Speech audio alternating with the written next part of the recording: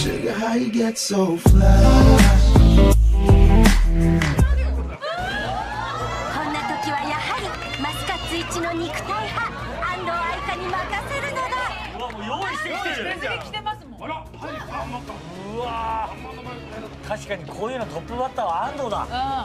やっぱね肉体ね。肉体で肉体派だから。気をつけてよ。自分自分気をつけろよもうちょっとセクシーへこって言ってへこ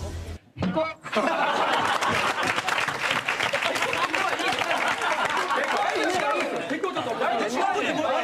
まいねバカにすんなようまいよ面白いんだおいって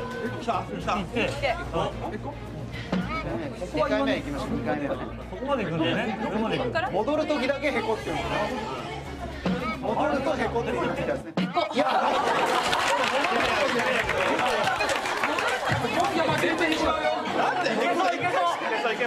入れるいけるいけるいけるいける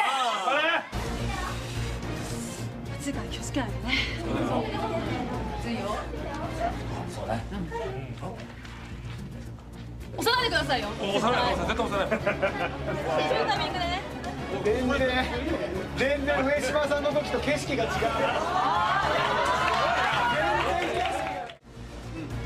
ださいね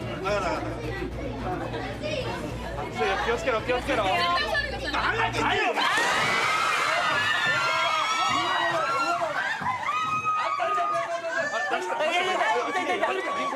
水出してあげて